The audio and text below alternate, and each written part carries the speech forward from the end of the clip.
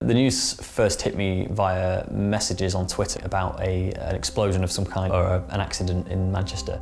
I started to honestly think this is it. July the 7th, 2005 is the day that I die. We were walking across this bridge. One of my mates just sort of shouted, Travis, look up.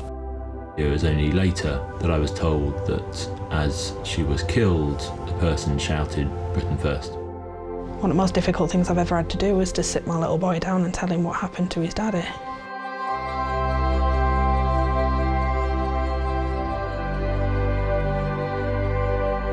Survivors Against Terror is going to work to try and help educate the public about how they can help, but at its heart, it will be trying to make sure that we don't just respond to terror, but we get ahead of it. I've seen the real damage that occurs to communities and people, and I don't think that the explosion is where the damage ends in these things. The first step to um, tackling this sort of thing should be to include people who've been involved in them because there's always going to be a unique perspective available there. We, as a group, are, are quite diverse ethnically, politically, um, age-wise. What better way to illustrate that extremism and terrorism isn't picky about who it affects? These terrorists have an aim.